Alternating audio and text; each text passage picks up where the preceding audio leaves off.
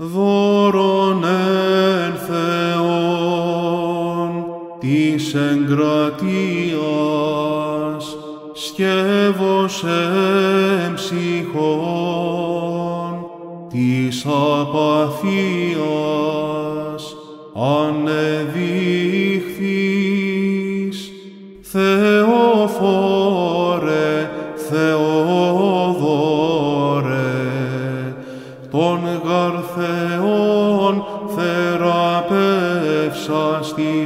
της έργης σου, των παραυτού δωρημάτων ηξιώσε. Πάτερ Όσιε, Χριστόν τον Θεόν οικετεύε, δωρήσαστε ημίν το Μέγα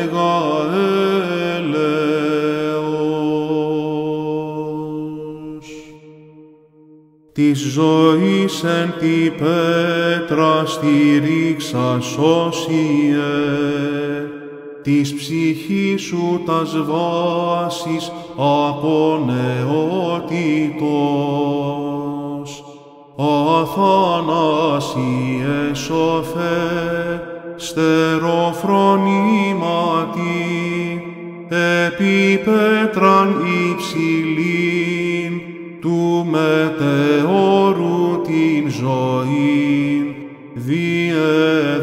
διέδραμες Θεοφόρε, και νυν ζωής αθανάτου, κατά τρυφών ημών μνημόνευε.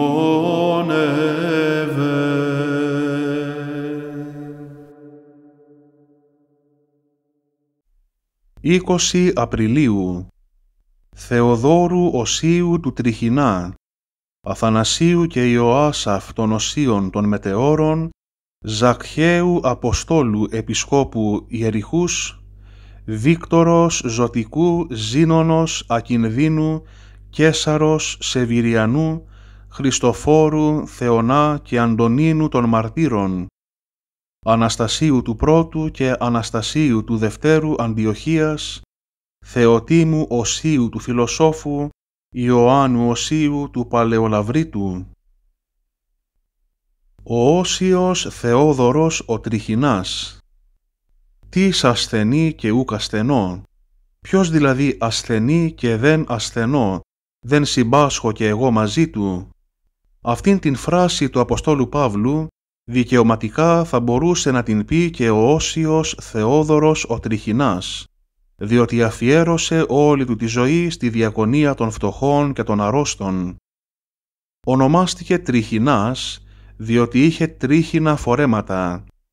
Η ζωή του ήταν λιτή και με πολλή εγκράτεια, προκειμένου να δίνει όσο γινόταν περισσότερα αγαθά στους πάσχοντες. Τη νύχτα ο Θεόδωρος πάντα έβρισκε χρόνο για προσευχή και μελέτη, ζούσε μέσα σε μια κοινωνία στερημένων ανθρώπων που οι ανάγκες τους ήταν μεγάλες. Μερικές πηγές αναφέρουν ότι γεννήθηκε στην Κωνσταντινούπολη από γονείς ευσεβείς και πλουσίους και ότι από πολύ νέος έγινε μοναχός στην μονή που ονομάστηκε Μονή του Τριχινά. Γι' αυτό παρακινούσε πολλούς πλουσίους να διαθέτουν όσα αγαθά μπορούσαν υπέρ των πτωχών.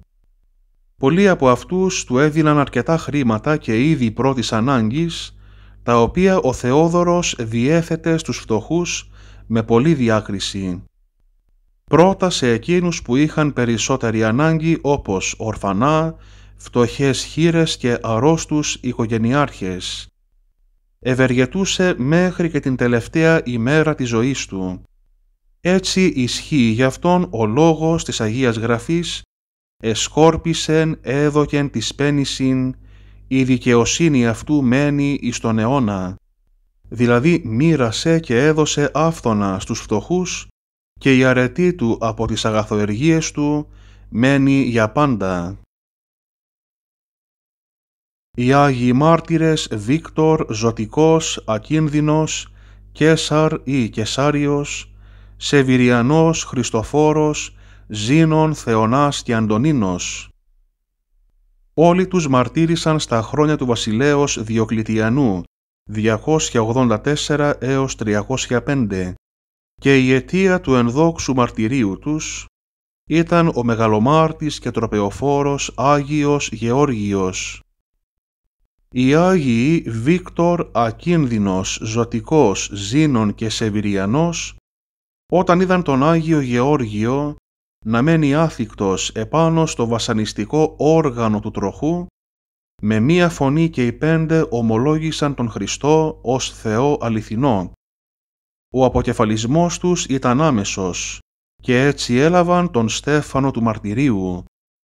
Η δε Χριστοφόρος Θεονάς και Σάριος και Αντωνίνος ήταν δορυφόροι του βασιλέως Διοκλητιανού. Όταν λοιπόν και αυτοί είδαν τον Άγιο Γεώργιο δια της προσευχής να έχει αναστήσει κάποιον νεκρό Έλληνα, πέταξαν τα διάσημα του αξιώματός τους και μπροστά στο βασιλιά και το πλήθος ομολόγησαν και αυτοί τον Χριστό ως Θεό αληθινό. Η φυλάκισή τους ήταν άμεση. Μετά από μερικές ημέρες οδηγήθηκαν μπροστά στον Διοκλητιανό και αφού τους κρέμασαν, τους ξέσχισαν και τους έκαιγαν με αναμένες λαμπάδες. Τελικά τους έριξαν μέσα στο καμίνι της φωτιάς και έτσι έλαβαν τον ένδοξο Στέφανο του Μαρτυρίου από τον αγωνοθέτη και αγαθοδότη Χριστό. Ο Άγιος Ζαχαίος ο Απόστολος Η ιστορία του Ζαχαίου βρίσκεται στο Καταλουκάν Ευαγγέλιο στο κεφάλαιο 19 στίχη 1 έως 10. Ο Ζαχαίος είναι ο γνωστός αρχιτελώνης της Ιεριχούς, ο οποίος άκουσε ότι θα περάσει από εκεί ο Κύριος Ιησούς Χριστός. Ευθύς τότε ανέβηκε στην Σικομορέα, στην Σικομουριά, επειδή ήταν κοντός ως προς το ύψος και ανέβηκε εκεί για να δει τον διερχόμενο Χριστό. Ο Κύριος θαύμασε την πίστη του, τον διέταξε να κατέβει από το δένδρο και να μεταβούν μαζί στο σπίτι του για να διπνήσουν αφού του συγχώρεσε όλα τα αμαρτήματα που είχε διαπράξει μέχρι εκείνη τη στιγμή. Τότε ο Ζαχαίος μετανοημένος είπε στον Κύριο «Κύριε, σε αυτούς που αδίκησα θα τους επιστρέψω πίσω όσα χρήματα τους κατέσχεσα τετραπλάσια». Και ο Χριστός τότε είπε «Σήμερα έγινε μεγάλη σωτηρία στο σπίτι αυτό, διότι πίστεψε ο Ζαχαίος και σώθηκε και έτσι κατεστάθη τέκνο του Αβραάμ». Ο Ζαχαίος μετά από την ανάληψη του Χριστού ακολούθησε τον Απόστολο Πέτρο, από τον οποίον χειροτονήθηκε αργότερα επίσκοπος της Κεσαρίας. Ο Όσιος Αθανάσιος, ο κτήτορ της Ιεράς Μονής Μετεώρου, γεννήθηκε στις Νέες Πάτρες, σημερινή Υπάτη Φθιώτιδας, το 1305 από γονείς επιφανείς και πλουσίους. Από μικρός έμεινε ορφανός από πατέρα και παραδόθηκε στην επιμέλεια του θείου του.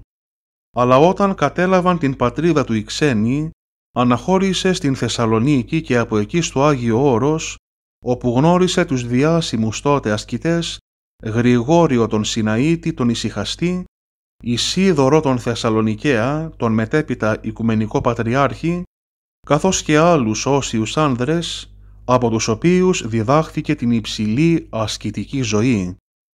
Αφού επισκέφθηκε και άλλους τόπους, κατέφυγε στην περιοχή Σταγών.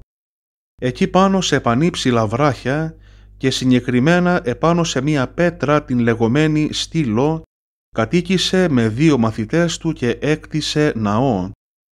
Την πέτρα εκείνη την ονόμασε Μετέωρο.